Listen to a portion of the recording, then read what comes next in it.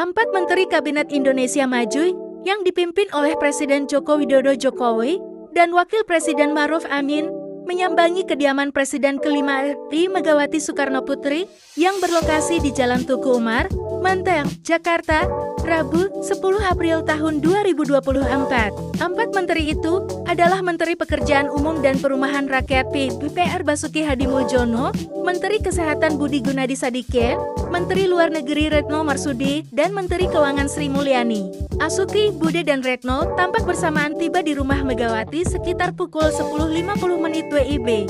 Basuki tampak mengenakan peci hitam dan baju batik berwarna coklat. Budi juga mengenakan batik berwarna senada dengan Basuki. Kemudian, Retno memakai kebaya kutu baru berwarna krem dengan bros hijau. Tak lama, Sri Mulyani menyusul tiga menteri itu mengunjungi Megawati. Ia datang sekitar pukul 11.11 menit WIB. Sebelumnya, sejumlah menteri Kabinet Indonesia Maju mengajak keluarganya mendatangi Istana Negara, Jakarta, Rabu, untuk bersilaturahmi dengan Presiden Joko Widodo dan Ibu Negara Iriana Joko Widodo.